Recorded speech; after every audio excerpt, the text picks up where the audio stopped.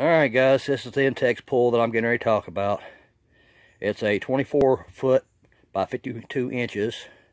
And I do believe the reason why I'm having problems with it is because of that. Made in China. I know. You're asking asking me why is the water green? Well, let me show you why. And it's not because the chicken's been pooping in the water. Let's go down here and I'll show you why. I mean, I've had one of these pools for about eight years. Uh, the, the one that we had last year, well, we had for five years, and it finally, uh, the liner gave out, so we bought this one about a month ago. And you can tell it's getting ready to storm, and that is one reason why the water's green, is because it's been raining for here for two weeks, and the saltwater system cannot keep up with, uh, with all the water going in there.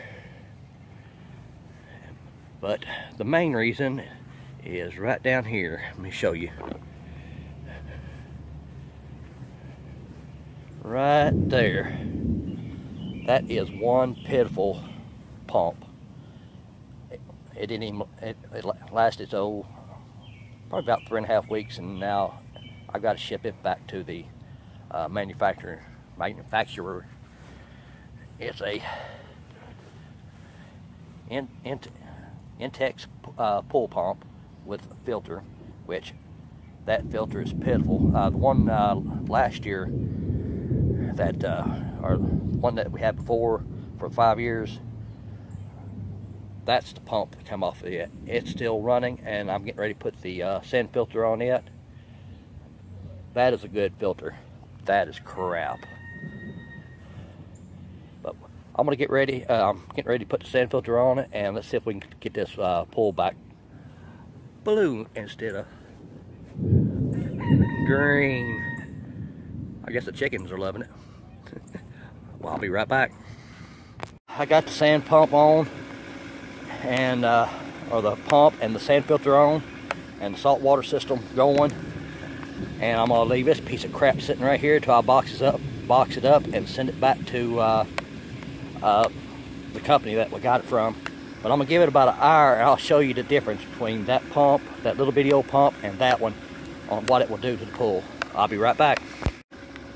All right, I got the sand filter everything working and plugged in and went to turn on my uh, uh, salt uh, salt water thing and it's went out but uh, we've had it for probably three years, maybe four, I don't know.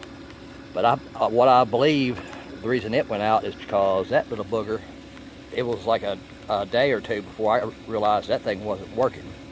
So I think that burn up that. But I want to show you what, uh, uh, since the uh, saltwater machine, or whatever it's called, wasn't working, I had to go get some chemicals and put in the pool. And it's been probably about hour and a half. And and the pool is starting to turn blue again. Well, it actually is blue now. A little bit of green tint to it, but it, uh, once it does its circulation all night long, all of it be back blue. But I wanted to show you what a good pump is supposed to be doing. Look at it, look at that thing pushing out that water. That's how you how you post how the water's supposed to be pushed out. That little pump over there couldn't could never do that right there. Not even when we first got it. But it just makes me mad. Three weeks is all we had this pool. And that little booger went out. And that one there is four years old and still going. Well, I'm to get off here, and y'all guys, y'all have a good one, and I'll see y'all later. Have a good one.